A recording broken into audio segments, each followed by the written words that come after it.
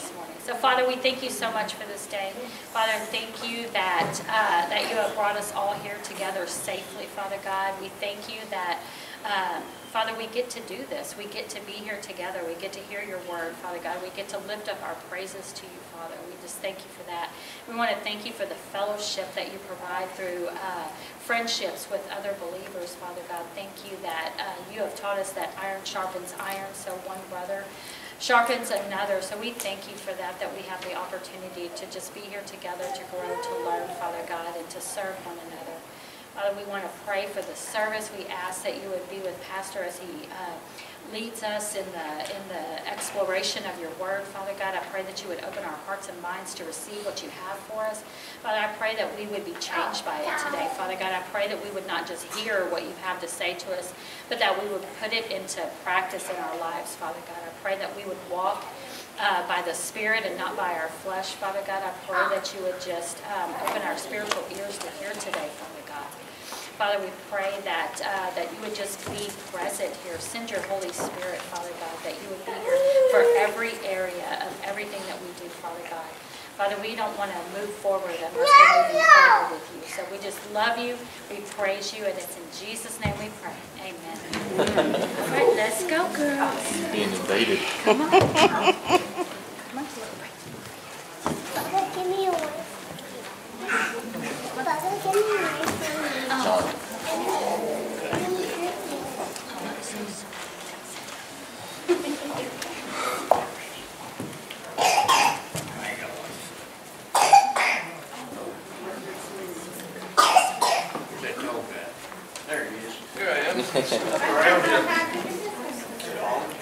hear me? Answering. You do have to hold it up. Hello? There it is. There we go. Right. Uh, I ain't got a lot to say. I just want to say it was a pleasure to be on this mission trip this, uh, past week. Uh, to honestly go and serve someone who has been serving the Lord for the last 20 years.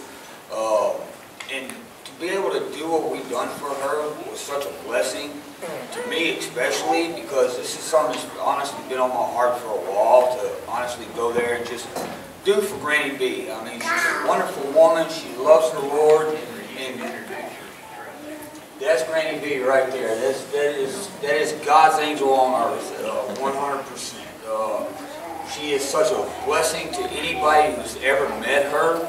Uh, and if you haven't been there to meet her, not to go to Mexico, just to go there and meet God's angel on earth. Because that is honestly what she is. She is a, spectacular woman. She is uh, blessed everybody that's ever come in contact with her. Uh, no matter where you're from, what you do, or what you've done in life, she is a blessing and just a pleasure to be around. So uh, it was an honor for me personally just to go and serve for her. Uh, I just thank everybody for the opportunity to be able to go, uh, especially the Lord, because He's the one who put it on my heart to go. And uh, just, I, I advise everybody to take a chance and just go down there. I mean, get rid of your fears, because that comes from the, from the devil. Uh, there's no reason to be afraid of anything. Uh, you're safe, 100%. Uh, just go enjoy yourself and get an opportunity to meet Granny B. Take the opportunity. That's all I really got to say. Thank y'all. Hello, my name is David. It's my first time to be on this stage. Um, and my first time to go to Del Rio. Uh, like many of y'all, uh, I'd never been. Like Tom, Tom's never been. Tom? No? Nope, never been. Sorry, Tom, I got to pick on you because it takes the attention off me.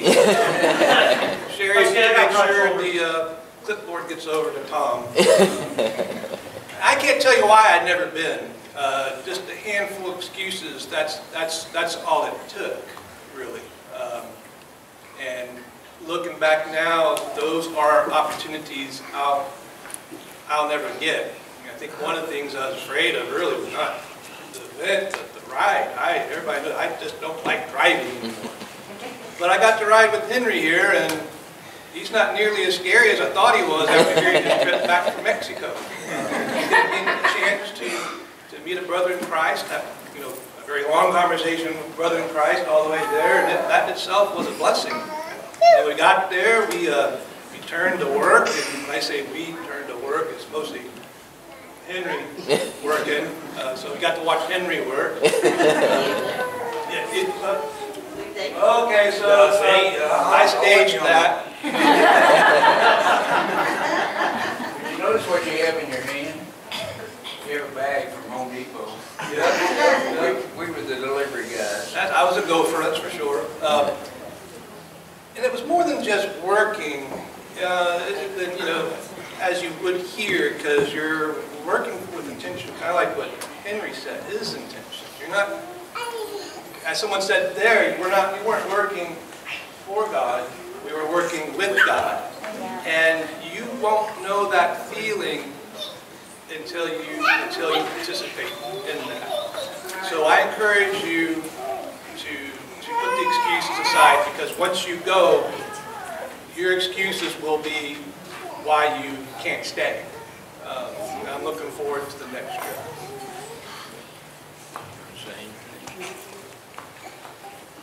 Okay, I'm gonna probably start from the beginning. It may take a few minutes to go through this. You better start the timer. Okay. But anyway, when we were there two weeks ago, where he talked, took me through this building and asked me, what do you think about this? What do you think about this? And my first thought was, man, y'all haven't had any carpenters in here yet. Everything was patched and put together and bubble gum and whatever you like, you know. It was a mess. So uh, we were looking at this and I was talking to Granny and the Lord just moved it on my heart that you need to come back, you need to finish this mess. Because she told me the last bathroom they had built took 11 years for these volunteers to complete it. I said, oh my God, we're not going to take that long. I think we can do it in a week. So I come back and into the house and I go look at the scheduling book and it was only, the 15th was the only time that she had an opening she could put us in. So, uh, I told the wife, and of course she was, oh my God, we can't go back, I got all this to do, you know. And uh, like David, he was afraid, and Hendricks had to get permission from his boss. So I had to just schedule this for myself. And uh, the Spirit just kept moving me and moving me. And everything that uh, he did, the devil did the opposite. I was in a spiritual battle probably two weeks on this thing. And right before we left, he brought me to a verse that uh, in Ephesians 6 and 10, it told me to put on the whole armor of God so we could battle the devil. And that was it from the beginning. And we loaded up on Sunday morning. I had vertigo or something. I never had it before then, that I was dizzy. Never been dizzy in my life. And of course, I didn't tell anybody because they're going to tell me, oh, we can't go, we can we stay here. So we drove to Columbus probably uh, before it cleared up. So that's how, how long the devil fought me on that. And then everything else that, that come along, you know, we, we got in there, started tearing things out, and Granny B said, I want it this way. Tried to convince her this is a better way of doing it. And she said, okay, okay, y'all do it y'all's way, because I've already got a vision how I want it to end up. And I said, I think we can work with your vision and, and doing it the right way. So $900 later, we, we come on Monday morning and put cabinets in, we bought tile, we bought ceiling fans. Of course, Henry forgot his air compressor, we had to buy an air compressor. And uh, all the things that we went through. Then on Monday night, Granny B wakes us up. She says, oh, need to take me to the emergency room. I think my appendix is going. So we, we go down, start out to the emergency room. She said, told me, take a ride on veterans here. And she said, get in the left-hand lane. So I get in the left-hand lane. I, I knew it looked strange. I said, I got two yellow lines here. And she says, uh, you're in the turning lane. But okay, just, just go up here and turn about the Taco Bell. So that was a normal turn, but my, my landmark was uh, the DQ. It was the same street, but But she, she told us all stuff like that, and we get in there, into the emergency room, and she was probably the only one, well, I take it back, there's one other guy that had a legitimate reason to be there. Everybody else in there was, was people with kids with coughs. And we spent till probably three o'clock getting her checked in, and doctors looking at her, did CAT scans and all kind of stuff. They tell us, oh, we're gonna ship her out to probably a life flighter. But that didn't happen. She called us an hour later and said, you need to bring me clothes. I don't have any clothes. All the stuff she gathered up before she left, we had to buy her and bring her clothes. And so we go back and there was a little nurse there from her church. And they asked her, Granny, what are you doing in here? And she said, well, my stomach hurts. So uh, we went through this process and we went back home and fixed breakfast because it's about 6 o'clock by that time. And they finally got Granny on the road and she went three hours by ambulance and she said it's the roughest ride she ever had in her life when she was strapped down in the ambulance. She said every bit of that ambulance was hard. She said it was stainless steel and wood. And she asked him, are we on back roads? She said, no, we're on the highway. She said, man, they didn't miss a chug hole. then she gets, gets there and they, those doctors said, "Fuck, we got to redo all the tests. Wind it down. We just getting started. but anyway, we, we get back, you know, Henry's got a process and he got a lot of sleep that night. Sherry and I didn't get any. And uh, he gets going. He got David as his helper this day, but you don't catch up with Hurricane Henry, you just get out of his way. Because uh, he's run over me a couple of times turning around real fast. So I've learned with Henry's working, just whatever you need, tell me to get it, and I'll get it. So I would basically go for it. You know, whatever he said we needed, I got. And uh, about three days later, he was beginning to take shape. We had another man from another crew. He comes in, he said, y'all need some help? And I said, yeah. He said, I'm a drywall guy. I said, oh, come here. We put you to work right now. So he did a lot of the drywall work in there. And so uh, they went home the next morning. And Henry built the cabinet outside, putting all the tile on it. Well, I'm inside doing all the, the finish uh, trim work. And we get this done, and here we are. Look at, it's five o'clock. We're out of time. So another crew comes in. The guy says, uh, I got four construction guys coming uh, later. I said, oh, good. You come right here and I'll show you what we need to do.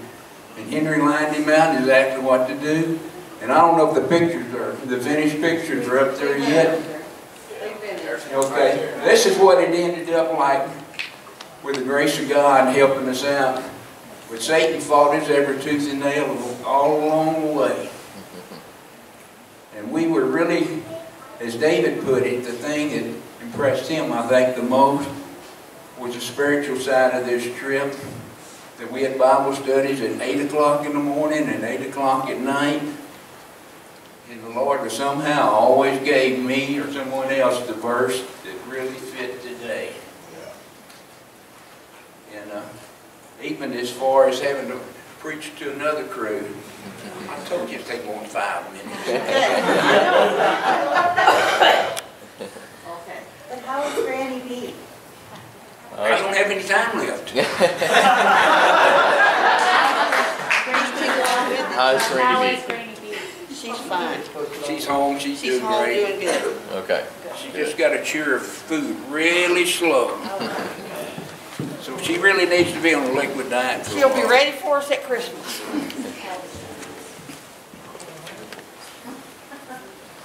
So how's Granny?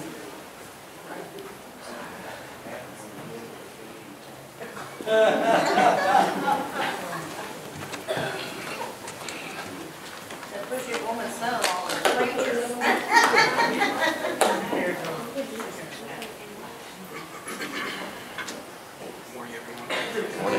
If you want to understand with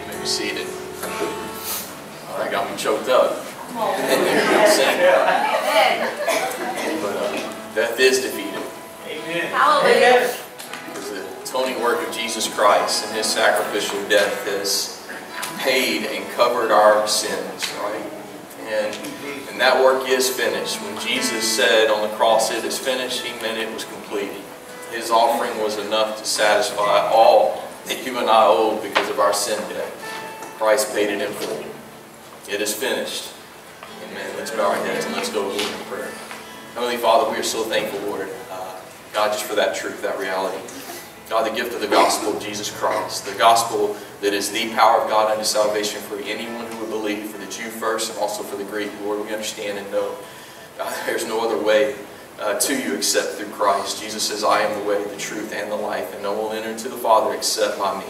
So, Father God, we are so thankful that Jesus chose willingly, placed himself on that cross in our place, Lord, to pay our debt in full. Lord God, thank you. Uh, Father God, we're thankful for your continued provision and faithfulness towards us in all things. God, we understand and know that everything that we have is a gift from you, God. And, and Father, today as we come now, we give of our tithes and offerings, Lord. Uh, we just pray that you would bless it, multiply God. Use it, God, for your kingdom work. Uh, God, we just pray for your wisdom, counsel, and direction, Lord, as we seek your heart and your will for all things, Lord. Just lead us. Father, we ask this all in Jesus' name. Amen. Amen. All right, so we're going to go ahead and dismiss our children next door for Children's Church. That is fifth grade, kindergarten, through fifth grade. Uh, and then we also are going to have uh, nursery provided next door as well. So uh, Nikki's going to take the, the uh, Children's Church kids this week. Uh, this is Sherry's week to, to be here uh, in service with us, to, to sit through the service. And, you know, I'm, I just want to say, Sherry, um, how appreciative we are of the hard work that you put into Children's Church. And it's been truly a blessing, so thank you for that. Uh, how are we this morning, church? Wonderful. All right. Man, man, that's the kind of response I like. you know, sometimes I ask that and I get one or two people, yeah, I'm doing okay. Um, you know, it's been okay week. But, uh, I'm, not, I'm not satisfied with that because I know that every day is a gift from God. Okay? Amen. So every day we have something to be thankful for. Amen. So, uh, so today we're going to kind of wrap up the book of Jonah today. Okay, so we're going to be in chapter four. We're going to work our way through uh, all of chapter four, um, and uh, I am going to touch Tom. Always give him a hard time about this because he knows I always like to go kind of go back, you know, and and and. Uh, uh, to, uh, and, and, and so that we have some context, right? We want to know, right, that uh, that what we're studying, what we're going through, right, uh, we want to know what God's purpose is for it, right, and what it means to us. Uh, because what it meant for them is what it means for us. It has not changed, okay? Uh, God's Word is eternal. It's, it's unchanging and uncompromising. God has said it, therefore it is, okay? Uh, so we're going to be in Jonah chapter 4 today, but I do want to read to you uh, verse 3. but before we go any further, uh, I do want to take a moment just to stop and pray um, and just ask for God's leading, okay? So if you'll bow your heads with me just for a moment. Heavenly Father, again, we're, Lord, we're just so thankful for the opportunity to be here this morning, Lord. Thankful.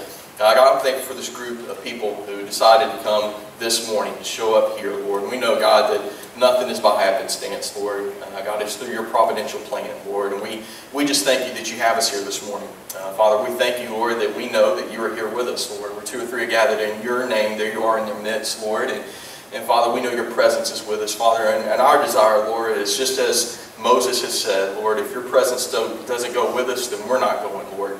Uh, so, Father, we just to pray that, you're, uh, that you would speak to us today, Lord, that you would open our hearts and minds, God, to you. Uh, I ask, Lord, that you would just remove any distractions uh, that we might have brought into this place with us, Lord, uh, whether that be from past events of this last week, Lord, or even this morning. God, we just ask that you would just move that out of the way, Lord. Uh, God, I ask for myself, Lord, that you would set me aside. Lord, just use me as your vessel, Lord. Lord, just your Holy Spirit lead here today, Lord. we know that the Holy Spirit is the Spirit of truth that He takes from you and brings it to us. And God, we need to hear from you today. Lord. So we thank you for your presence here tonight, this morning, Lord. We give you all praise, honor, and glory.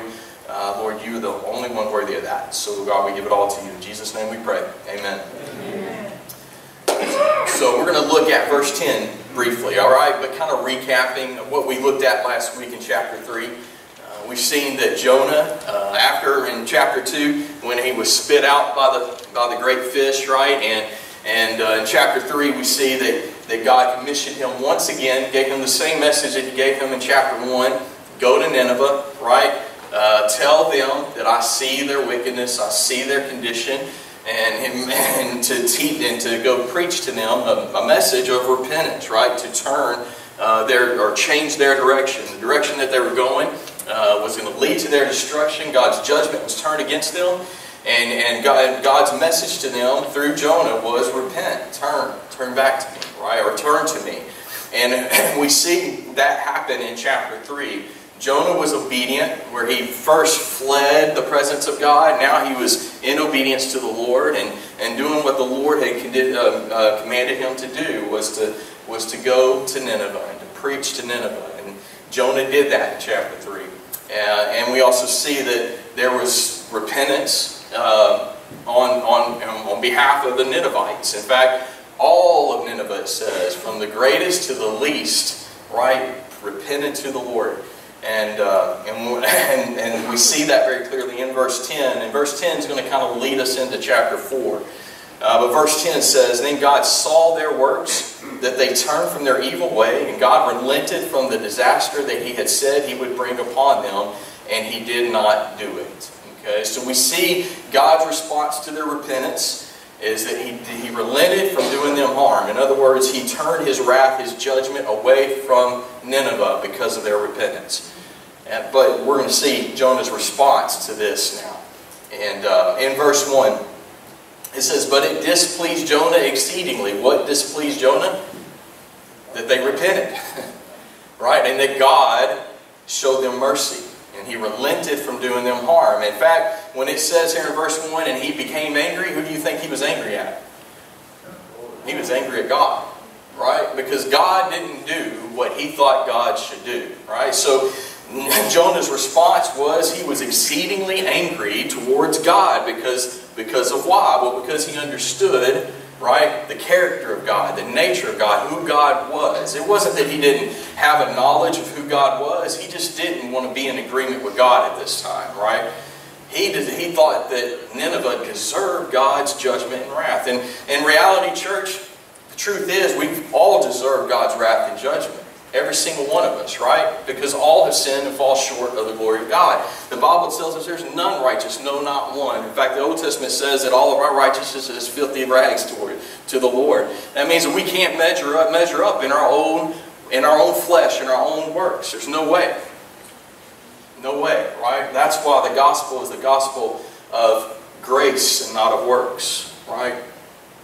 If you live by the law, you will be judged by the law. See, we can't live up to that standard. The Bible tells us that if we desire to keep all the law, but we stumble at one point, then we're guilty of it all. So, listen, the reality is, yes, we've all been deserving of God's wrath. None of us deserving of His mercy. Jonah just couldn't see that here. He understood the character of God, and we know that to be true because in verse 2, right in verse 2, he says, So he prayed to the Lord. And listen what he prayed. And said, Oh Lord, was not this what I said when I was still in my country? Therefore I fled previously to Tarshish, for I know that you are a gracious and merciful God, slow to anger and abundant in loving kindness, one who relents from doing harm. You see, he had the knowledge of God. He understood the character and the nature of God, right? That God's heart was that, that Nineveh would repent, right?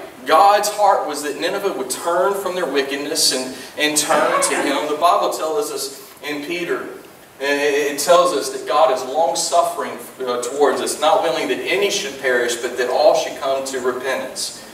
And what Peter is talking about is, is, is, is, is, is, is God's coming judgment. God has withheld that because He desires that no man would perish. But there, and we're going to see this in a little while, there is a judgment to come. But today is the day of salvation, is what the Bible tells us. That today we can repent. Today we can turn to the Lord. And there we would find His grace, His mercy to forgive us of our sins and to cleanse us of all of our iniquities. Because He has paid it all. Just like we just got to finish. His work is complete. There's no other thing that you and I can do to add to the work of Jesus Christ. It is done. his sacrifices paid it all. But here he understood that God was gracious, and that is talking about divine grace, God's grace towards us. And grace is unmerited. Grace is not something that we deserve. That's what grace is. God gives us His grace not because we deserve it or have we have done anything to receive it. It's a gift from God. It's His graciousness towards us. He's gracious and He's merciful. And mercy there means that He that He He does not give us what we do deserve. Okay? And, and, and, and, and, and, and Jonah is recognizing this. He says, You're slow to anger, meaning that he's patient towards us. Aren't you thankful? Aren't you thankful for the, uh, the long suffering of God towards us, that he's patient with us, uh, that he has not given up on us? And here, and he goes on to say, abundant and loving kindness. Can I tell you, the Bible tells us, church, that in 1 John, that it's not that we love God, but that He first loved us, and He gave His Son to be the propitiation for our sins. Right? That He would come and He would be the one to make Himself an offering to satisfy the wrath of God turned towards each one of us, because each one of us were born with that inherent nature of Adam. Each one of us were born with a sin nature. That's why, you know, you don't have to teach a kid, a little baby, how to rebel against a parent, right? What is the first thing that most children learn, the uh, first word, first word that most children learn? No. No. Right? it's just that nature of man. But listen, church, there's a remedy for that, for that, and that is Christ and His provision.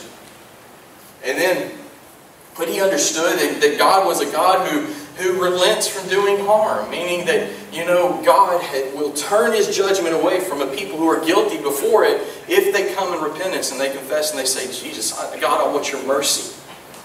I want your grace. I need it. So even though he knew all of this, right, he just didn't feel like Nineveh deserved it. Ever been there?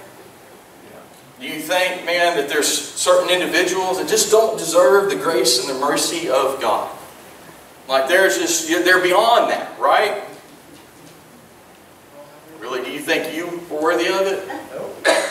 Do you think Jonah was worthy of it? Well, Jonah's going to find out real quick. Yeah, he was not worthy of it, right?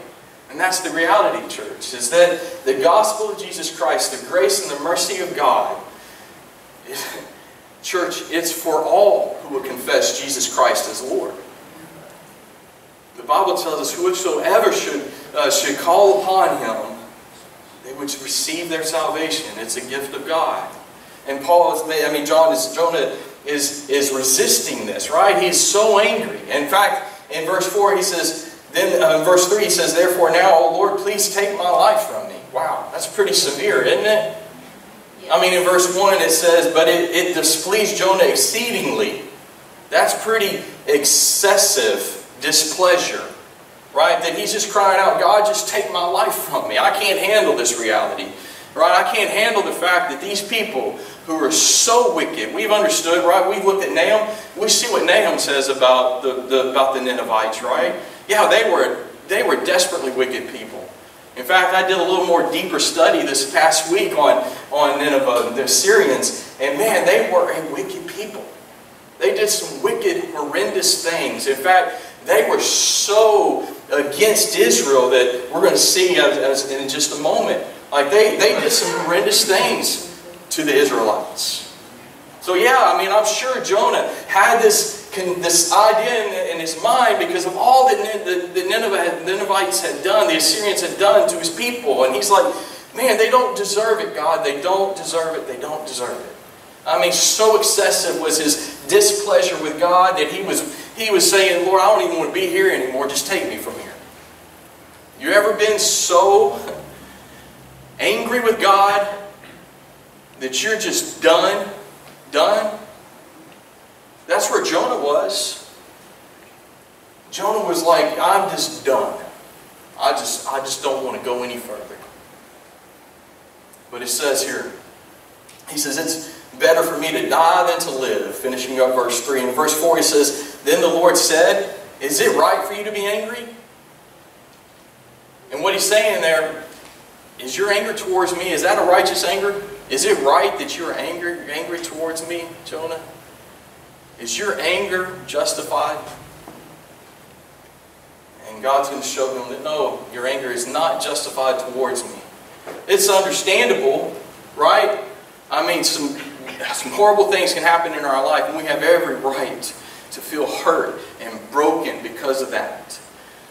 But, church, there's mercy and there's forgiveness and the grace of God, and it's a very healing power that can be at work in your life, no matter where you're at. Very healing thing that you are desperately in need of. And what God is looking for you in response, church, is not that you become angry and mad at Him, but you say, God, I everybody else, whatever it is, I, it's just me and you here, Lord. Speak to me. I just need you. I need you. But Jonah had hardened his heart towards God. He was angry, and God was like, Is your anger, is it righteous, Jonah? Is it, a, is it right that you're angry? And then Jonah's response, it says in verse 5, it says, Jonah went out of the city and sat at the east side of the city. I mean, I can almost picture Jonah kind of throwing a little temper tantrum, you know, just pouting all the way there, you know, just, just he's just done with it. He can't handle any more of it, right? And it says, so Jonah went out of the city and sat on the east side of the, of the city. There he made himself a shelter and sat under it in the shade uh, till he might see what would become of the city. And the Lord God prepared a plant and made it come up over Jonah that it might uh, be shade for his head to deliver him from his misery. So Jonah was very grateful for the plant. You see that? Jonah exceedingly angry, displeased with God, until God gave him some shade. And then he was deeply grateful for the shade that God had provided for him, Lord. Right? You know, something that caught my attention this past week as I was looking at this is, is in verse 5, we see that, that, um, that Jonah made himself a structure to get shade. In verse 6, we see that God provided a plant for him so that he could get shade. What happened to Jonah's structure?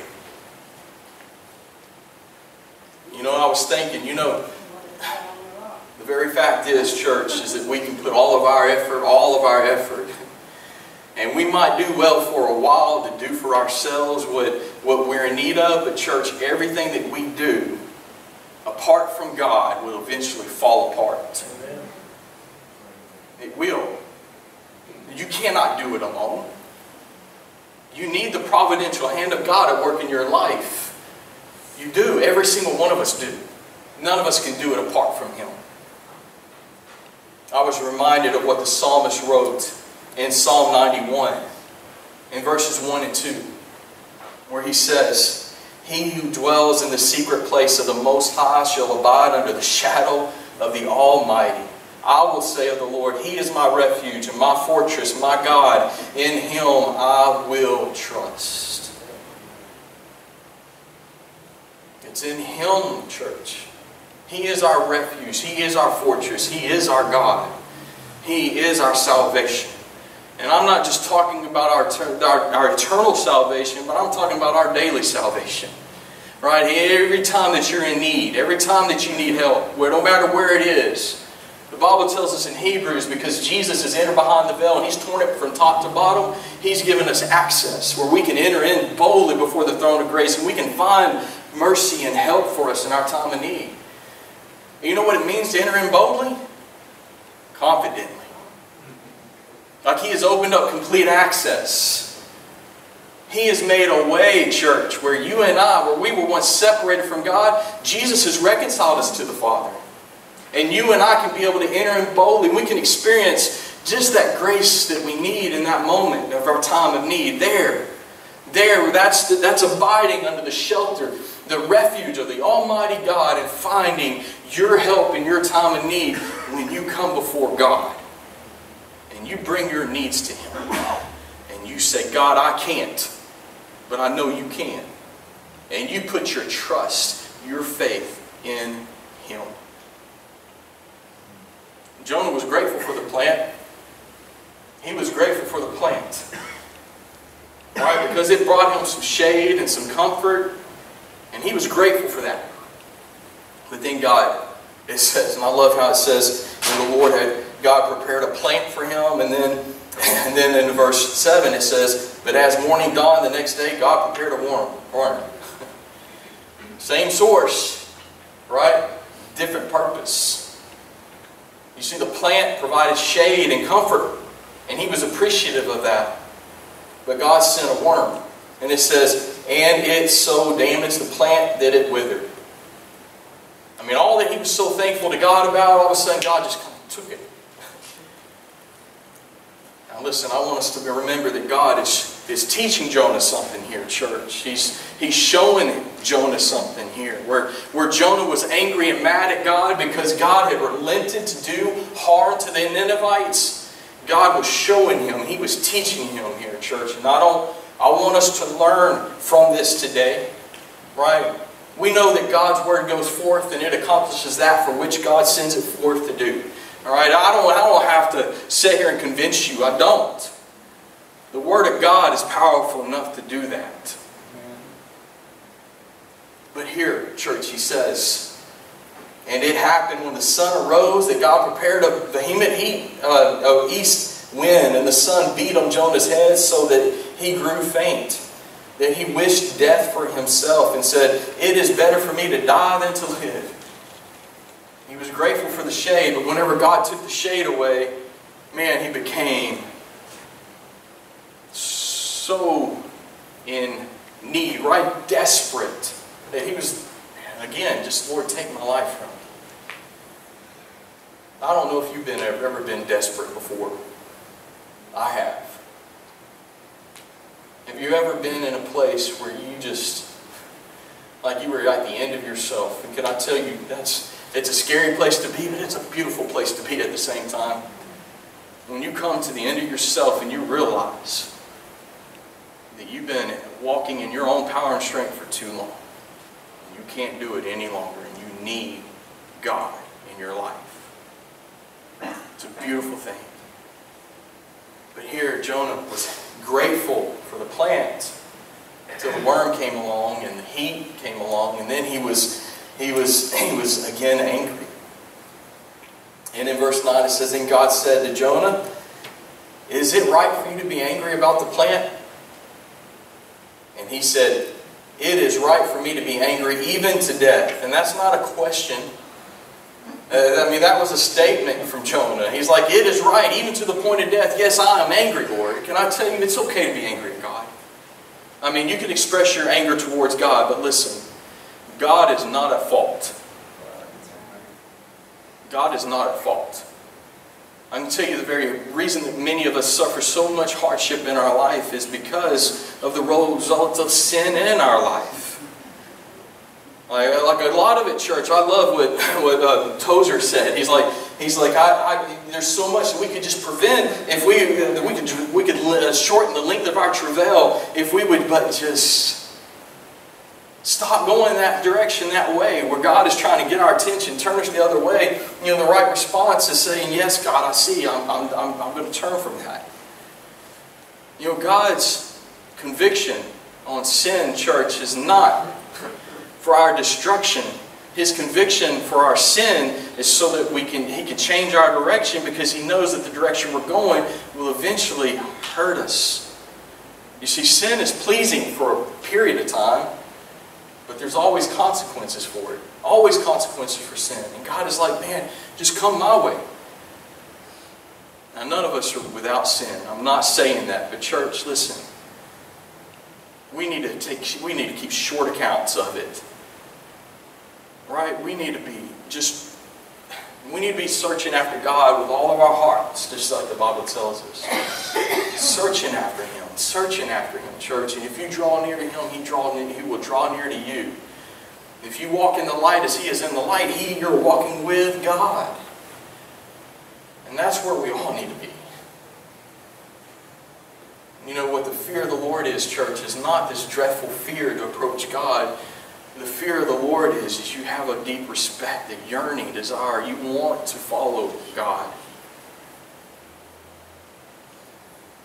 And here, Jonah is again angry. And he asks him, Is it right for you to be angry about the plant? And Jonah says, Yes, it's right. It is right that I'm angry, even to the point of death. And in verse 10 it says, But the Lord said, You've had pity on the plant for which you have not labored. I mean, Jonah didn't plant the plant, did he? I mean, the Bible tells us that God, God, right, made the plant grow and bring shade and comfort to Jonah. He says, Nor did you make it grow, which came up in a night and perished in a, in, uh, and came up in a night and perished in a night. It's like you were you were grateful for that, but you had no participation in that. That was not your provision, that was mine. And you know what? The very reality is, that Jonah didn't deserve that at this time, right? Let's, let's remember where Jonah was right now. Jonah was mad at God.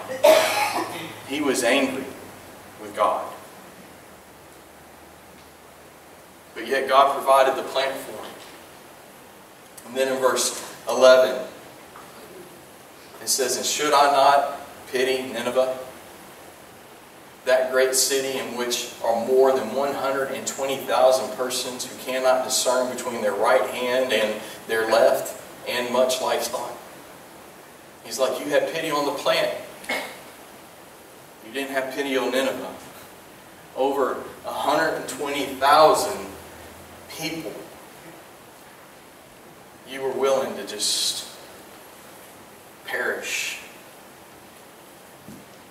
Church, I understand. I do. I understand that, man, if you know, you see the depravity in our world today and all that's happening, right? All the destruction and everything, man, it's so easy just to become angry. And I, church, Nineveh was worthy of, the, of God's wrath, His judgment. They were. The Assyrians were wicked people. But yet God looked down at Nineveh and says, I see your wickedness, and I'm sending you a messenger. And I'm letting you know if you continue that path in that direction, it'll be for your harm and not your good. But if you turn now, I will relent. Again, church, the day of salvation is today, not tomorrow, not the next day, not next year, today. but I was also reminded that there is there is a coming judgment of God. There is. In fact, you know, I was doing some deeper study this week on, like I said, on uh, on the Assyrians and, and Nineveh. In the book of Nahum, when the book of Nahum, when Nahum was a prophet in Nineveh, and his very message was to tell Nineveh that God was coming to judge them, coming to pour out his wrath on them. Do you know when Nahum was written? Jonah was written between 798 and 793 BC. Nahum was written between 663 and 612 BC. That was 140 years after Jonah. So, I mean, then the Ninevites repented. They turned to God. And then when uh, between uh, then and, and, and Nahum's book, they turned away from God all, all over again. And God eventually did pour out his wrath on Nineveh. Fact, the Babylonians conquered Nineveh and just totally annihilated and destroyed them. Yeah, you can put it off and put it off, but church, there is coming a day of judgment, and, and God has determined that. He knows the date, He knows the time. We don't, but church, it's coming. And that's why, listen, every day is a day of, of opportunity for us to come to Christ and to, and to say, I accept and I receive your gift because I am in need of it. I know that I'm a sinner lost and I need your mercy. I need your grace. He will not turn you away. There's not a reason to put it off. There's not. He is your ever present help in time of need. He is. And aren't you thankful that we serve a merciful and graceful God that, that we can bring every need to Him? every need, no matter what that is, and to know that God is able, that He is our refuge, He is our fortress, He is our God. In Him we will trust. Amen. Would you please stand?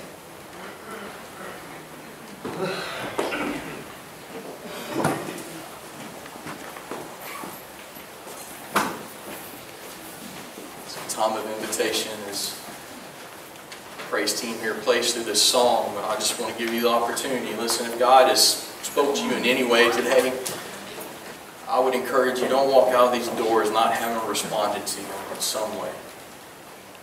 I mean, there's power in coming forward and, and making it known to God, but there's just as much power available to you right where you stand. You can make it known to God and He will hear you.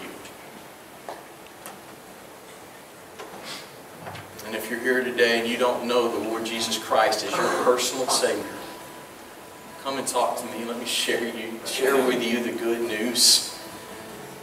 The good news of Christ and His faithful provision for us, that He sacrificed Himself for us and paid in debt what we owed God because of our sin, because all sin leads to death, is what the Bible tells us. The wages of sin is death, but the gift of God is eternal life through Christ Jesus. It's a beautiful thing to receive the mercy and grace of God that's available to, to you here today. And I want to encourage you, if that's you this morning, don't walk out these doors not having come and talk to me. And if there's anything else that you're struggling with, any other need that you need, I'll be here to pray. Others will be here to pray. Listen, come and you can bring it before God. And you can know that God hears you. Would you please come?